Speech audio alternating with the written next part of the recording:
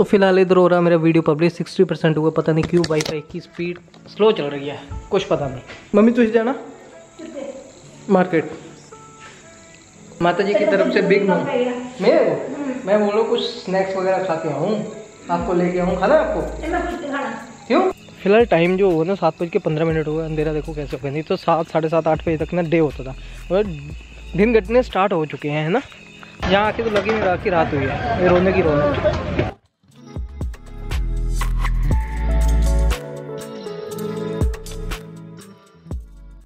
खा लिया कुछ पैक करवा लिया और मज़ा आ गया। बहुत टाइम बाद मैंने मोमोज खाए और स्पेशली मोमोज खाने के लिए मैं आया था ऐसी ठंडी में।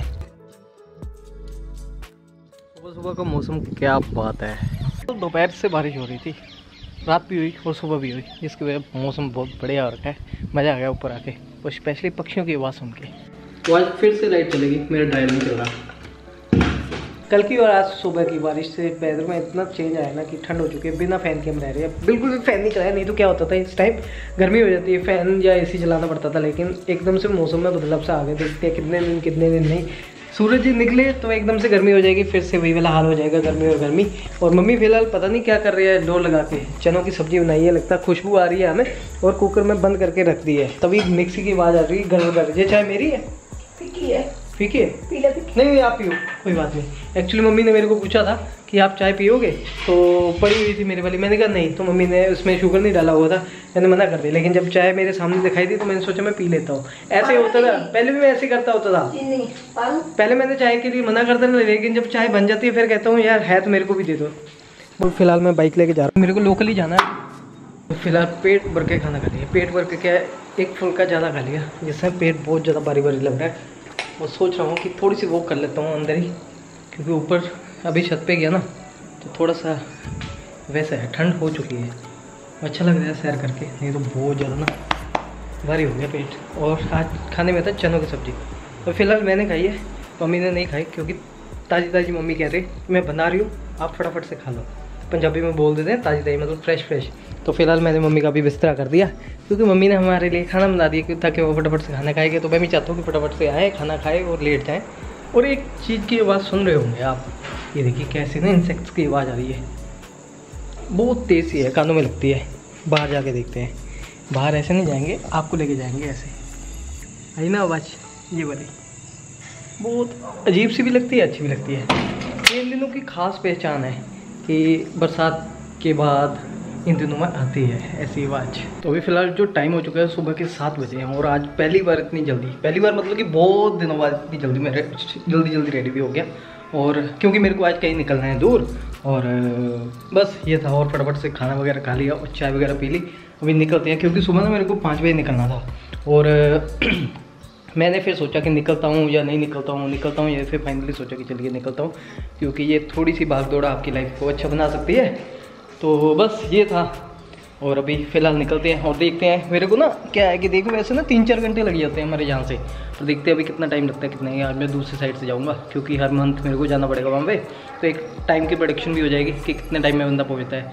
और मैं अपना लैपटॉप वगैरह साथ में लेके जा रहा हूँ। अगर मेरे को वहाँ पर रुकना हुआ तो मैं रुक भी सकता हूँ, लेकिन वो हंड्रेड नहीं है। वो एक चांस है, अगर रुकना पड़ गया, क्योंकि थोड़ा सा ज़रूरी काम है, जिसकी वजह से अगर थोड़ा सा डिले हो गया तो मैं अपना वीडियो वगैरह वहीं पे एडिट वगैरह कर सकूँ, ताकि काम भी हमारा चलता रहे। फ़िलहाल चाय पीते हैं। चंगा मम्मी है ना? ओके आया मैं शाम को लेट भी हो सकता। और रुक भी सकता आ भी सकता। मैं मम्मी कह रहे ध्यान से जाऊँगा। क्योंकि अकेला जा रहा हूँ फ़िलहाल अभी। क्योंकि मेरे को भी अभी प्लान नहीं था मेरा जाना या नहीं जाना। तो मम्मी बोल रहे कि हैं? पंकज जीजू पंकज जीजू ऐसे है ना कि पहले बोल देता तो ज़्यादा बढ़िया था है ना? नहीं नहीं कोई बात नहीं मैं निकल जाना।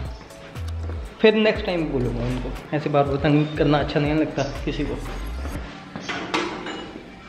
चाहे हमारे फैमिली मेंबर ही हमारे साथ जाने के लिए तैयार है, लेकिन खुद को अच्छा नहीं लगता कि हम बार बार किसी को अपनी हेडक के लिए तैयार करें।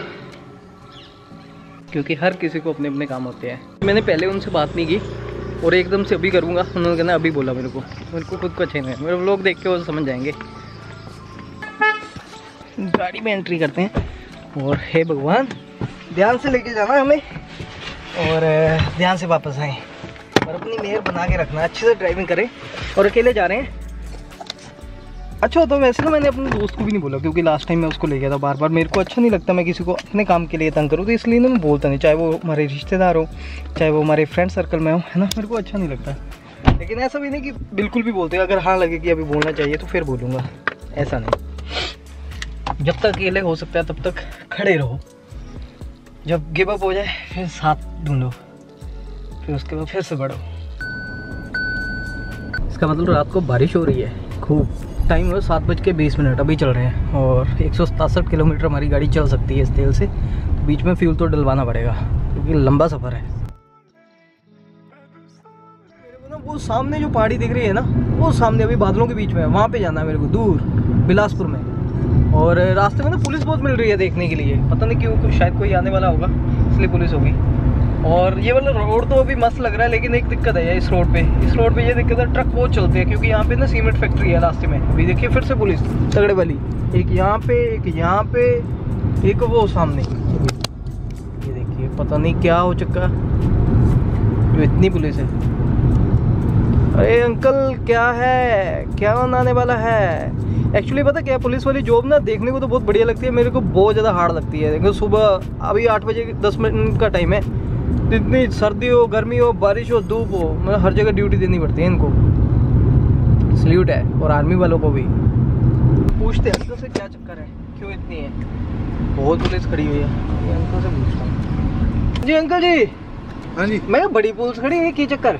मोदी साहब आ रहे हैं। एक्चुअली मंडी में जा रहे हैं श्री नरेंद्र मोदी जी। हमारे प्रधानमंत्री। एक्चुअली मेरे को नहीं पता था इसके बारे में। मैं भी जा रहा हूँ। मेरे को तो नहीं तो ऐसा लग रहा है, पता नहीं यार, ये आज शायद मैं जा रहा हूँ इस रोड से, इसलिए मेरे लिए सिक्योरिटी लगाई हुई है। तो सही है। अच्छा लग रहा है। सामने बादल बहुत बढ़िया लग रहा है। और मेरे को तो उस पहाड़ी पे जाना है। उस पहाड़ी से भी आगे।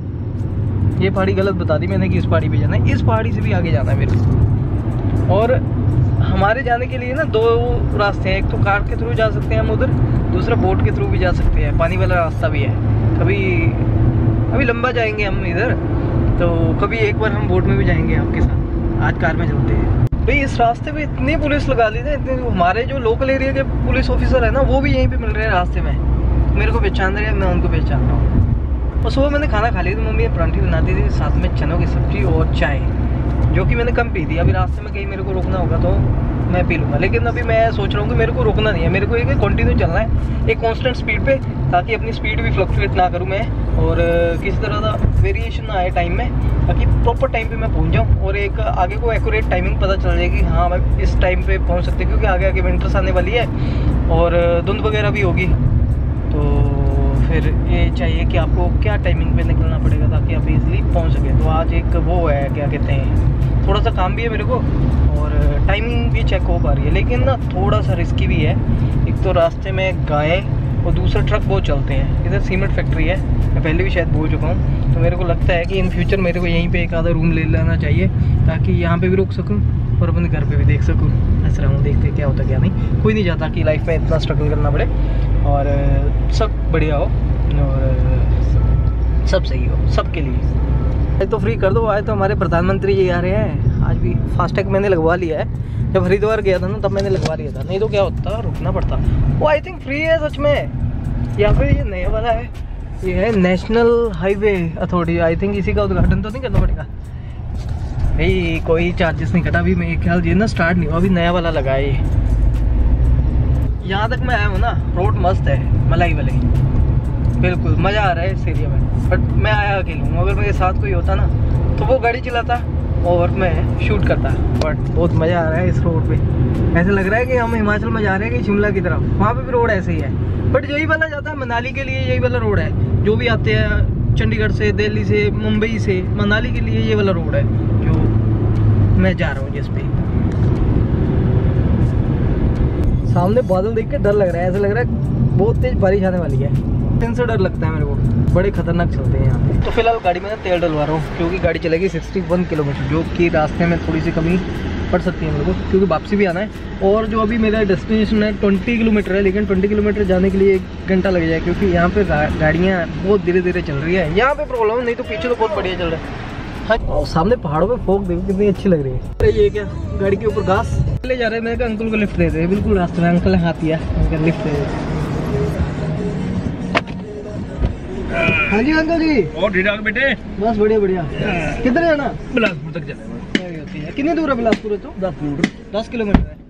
चलिए अकेले जाते जाते तो मतलब कि थोड़ा सा मुश्किल हो रहा है। मैं अंकल जी ने हाथ दिया। हाँ, हाँ। लिफ्ट दे देते हैं। यहाँ से। पहले मैं निकल गया था अच्छा। तो। मैं रुक गया। यहाँ पे बसेस वगैरह नहीं आती क्या? बस गई भी और लॉन्ग रूट खड़ी नहीं हुई है ना? अच्छा अच्छा। चलो ठीक है। ये एम्स है? हाँ ये सा- तभी बहुत बड़ी बिल्डिंग है यहाँ पे ना? आगे से गया रास्ता एम्स को अच्छा अच्छा। हो गया स्टार्ट हो गया? स्टार्ट हो गया हो। अच्छा। फाइनली अपनी डेस्टिनेशन में पहुँच गया तो कुछ काम है मेरे को वो करने हैं फिर उसके बाद देखते हैं क्या होता है क्या नहीं। एक्चुअली जो मेरे इम्पोर्टेंट काम थे वो तो सारे हो गए। थोड़ा सा टाइम लगा और बहुत बढ़िया एरिया है ये वाला। मतलब पहले भी एक दो बार आया हूँ, लेकिन अभी रास्ते में रुकता हूँ कहीं पे तो फिर आपको दिखाता हूँ। एक्चुअली ना हल्की हल्की बाहर ना बारिश चल रही है, ये देखिए। और मज़ा आ रहा है। और ऐसी बारिश में मन कर रहा है कहीं ना अकेले ही निकल जाओ कहीं लॉन्ग राइड पे। और वैसे तो मैंने बताया भी नहीं, लेकिन क्या हुआ कि लैपटॉप तो मैंने रख लिया था, मेरे को ये था कि मेरे को रुकना ना पड़ जाए यहाँ पे, लेकिन आज के डे में ही मेरा काम हो गया। और बाकी सब सही है। मन कर रहा है कि निकल जाऊँ बट अभी देखते हैं कि ढाबे वगैरह पे रुकता हूँ, मैगी वगैरह खानी है मेरे को। ऐसी ठंडी वाली मौसम में जब मैगी हो जाए तो बात ही लग है। अकेले ट्रैवल करने में ना, मज़ा भी आता है, नहीं भी आता है। मज़ा ऐसे मतलब कि आपके लिए रोक टोक नहीं होती, आप अपने तरीके से चलते रहते हो, कोई आपको रोकने वाला नहीं होता, कोई टोकने वाला नहीं होता। लेकिन नहीं, इसलिए कि यार आपसे बात करने वाला भी कोई नहीं होता है। लेकिन मेरे को तो ये वाली प्रॉब्लम नहीं होती। जब मेरा बात करने का मन करता है तो मैं आप लोगों के साथ बात कर लेता हूँ। अच्छा लगता है। और आप चल रहे हो ना मेरे साथ? इसलिए। और बस अच्छा लगा मेरे को आज ट्रैवलिंग करके।